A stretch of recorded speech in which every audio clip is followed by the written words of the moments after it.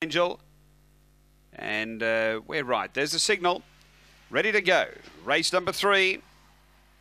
Heat of the Maideners over the 400 on their way. Uh, patchy start, bombing it was Turpentine Girl. Good speed, Star Eagle straight to the lead, the late mail. Aquira second, two lengths away. Satellite Doll improves. Then Cosmic Wave from Panic Prone. Four away, Sunset Angel, Mohawk Warrior. And Turpentine Girl back at the tail. Or Aquira got uh, checked out of it. Something happened there. A drop back sharply. Star Eagle led clearly. Satellite Doll trying to make some ground with Cosmic Wave. But uh, Star Eagle beats Cosmic Wave.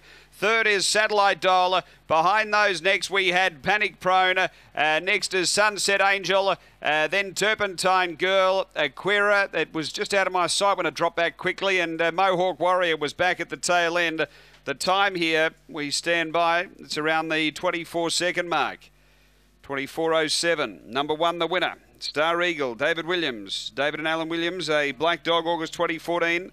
El Grand Senor, Chili Patch, number one. Second to two, Cosmic Wave, Captain Abbott, a black bitch, October 2014, Cosmic Chief, White Butterfly. So it's one from two.